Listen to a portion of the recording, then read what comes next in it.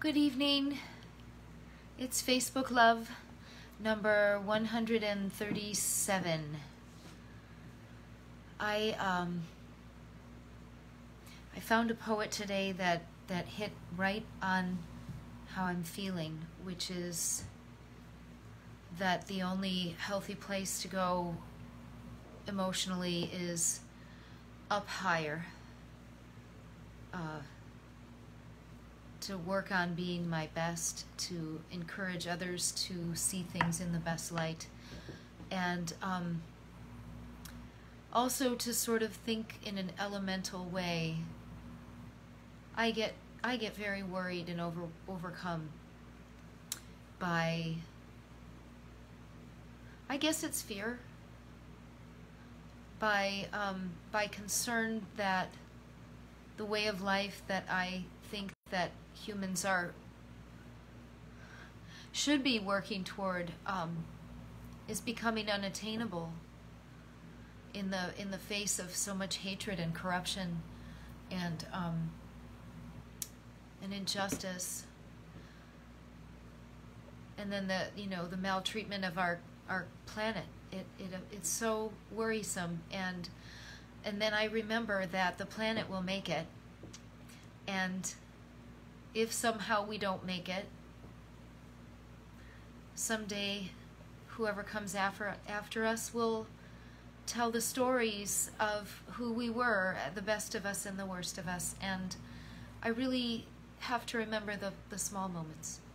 So I have two poems by this poet named Terry Tempest Williams, a friend reminded me of today.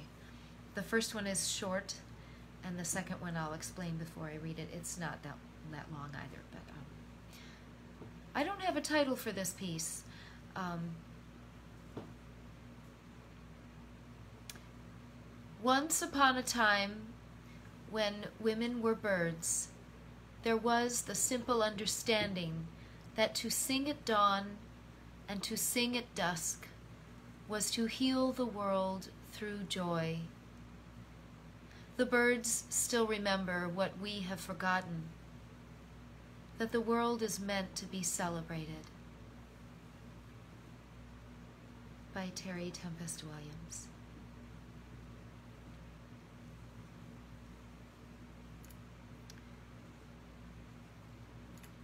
Here is the other.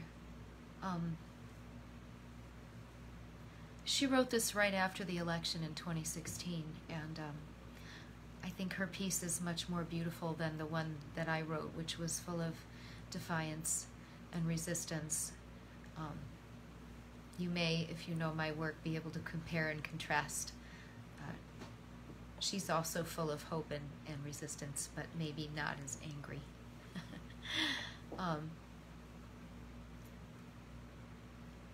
this, this poem is dedicated to community held within the open space of democracy. Erosion. It is morning. I am mourning. And the river is before me. I am a writer without words who is struggling to find them. I am holding the balm of beauty, this river, this desert, so vulnerable, all of us. I am trying to shape my despair into some form of action, but for now, I am standing on the cold edge of grief. We are staring at a belligerent rejection of change by our fellow Americans who believe they have voted for change. The seismic shock of a new political landscape is settling. For now, I do not feel like unity is what is called for. Resistance is our courage. Love will become us. The land holds us still. Let us pause and listen and gather our strength with grace and move forward like water in all its manifestation. Flat water, white water, rapids and eddies.